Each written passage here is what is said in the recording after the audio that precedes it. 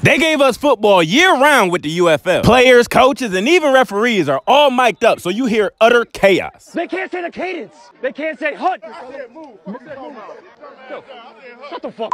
It show all the over under spreads favors on the screen just to tossing our dumbass the game, which is all fun and games until the punter throw a pass to the center. That's that's a damn pick six. Bet you didn't have that on your bingo card. You can throw two forward passes as long as the first pass never crosses the line of scrimmage. There's no extra point after a touchdown. You either go for one, two, or three. And onside kicks are a fourth and twelve. If you convert, you get the ball back. It's low key like minor league for the NFL, so they're playing for a chance to be picked up after the season. Former Super Bowl DN Vic Beasley, third round pick Matt Corral, and Alabama star quarterback AJ McCarron all play in this league. Even the bro destroying out there. Haboo! But the best part about this league is everything is challengeable and they actually show the review process. So he challenges that it should be pass interference. It is catchable without the hook, so he wins the challenge.